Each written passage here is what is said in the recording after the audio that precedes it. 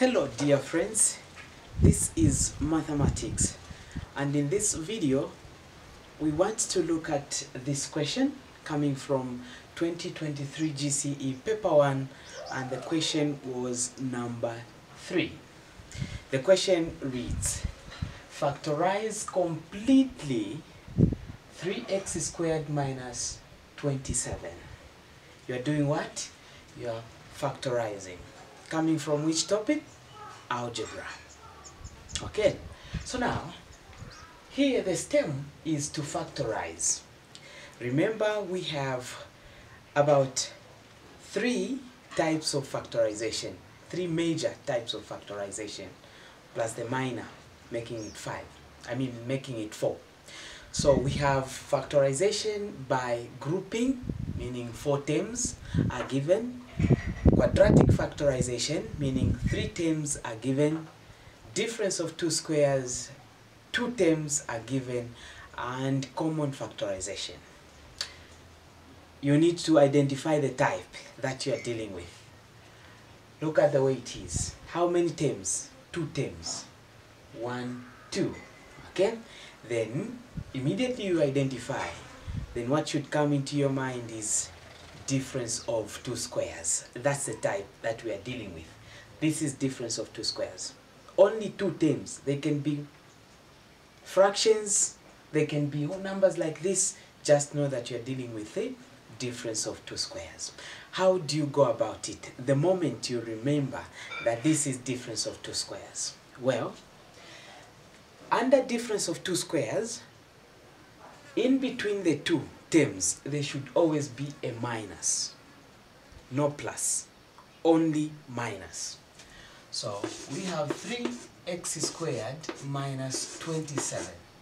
Now, as you are carrying out this type of factorization, the numbers that must be there should be square numbers okay should be square numbers even variables must be squared if you identify that those things are not there. Then they are saying you should perform common factorization first before the difference of two squares. Let's look at this. Is the 3 a square number? What i mean by square numbers are these.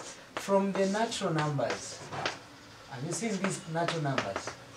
When we say square numbers, it means you are forming another type of numbers. 1 squared is 1, 2 squared is 4, 3 squared is 9, 4 squared is 16, the list goes on. So these are square numbers. Now look at this. Is it 3 a square number? Is it here? No. Look at 27. Is it here if we are to continue? 27 is not then you should know that, oh, here, there now telling me to perform common factorization first before I apply difference of two squares. So the common factorization we are talking about is, you look at the two terms. What is common on both sides? You can agree with me that it is 3. Open brackets. 3 into 3 is 1. So I'll remain with x squared minus 3 into 29, 27 here, it will give me 9. I see that? That is common factorization. This is called common factorization. But is it done? No. We are factorizing completely. At this point now, focus on what is inside the brackets. Inside the brackets here, we have x squared already square. Now look at 9. Is 9 a square number? Yes it is here. It's a square number. See that? Then we are going to perform difference of two squares. So we are going to say 3 must be outside just like that. Then what we have here is this. The difference of two squares says you need to have two brackets.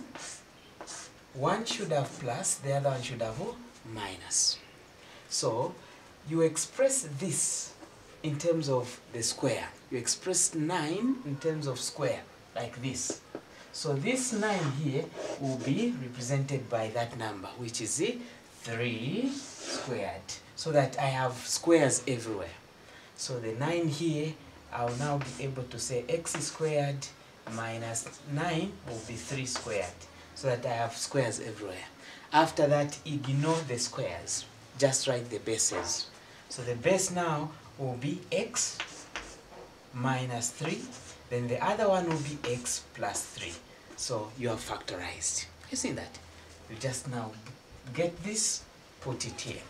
So you use these brackets, then you have x plus 3, then the other one will be x minus 3. This is your final answer. That's the way you should be able to factorize such kind of questions. I hope you have learned. Thank you for watching.